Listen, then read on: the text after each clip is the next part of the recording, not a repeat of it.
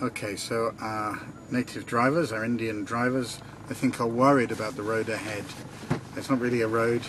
Uh, they went out to check whether it supports their weight.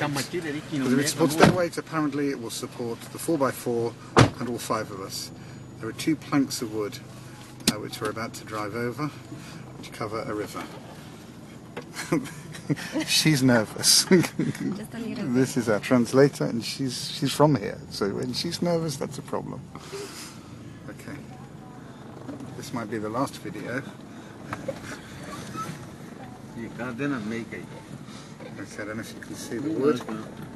I think that was oh my god in Portuguese. Okay, We're going to take a run up for this wel. Oh, heb je het neken? Oh, hier. Crossing a river. Oh, headrest comes off. Lots of worry.